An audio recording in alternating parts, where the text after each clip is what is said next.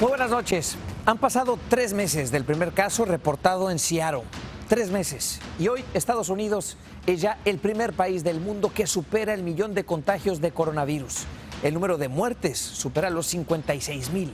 En total, el país ha hecho más pruebas que ningún otro. Más de 5 millones y medio de pruebas.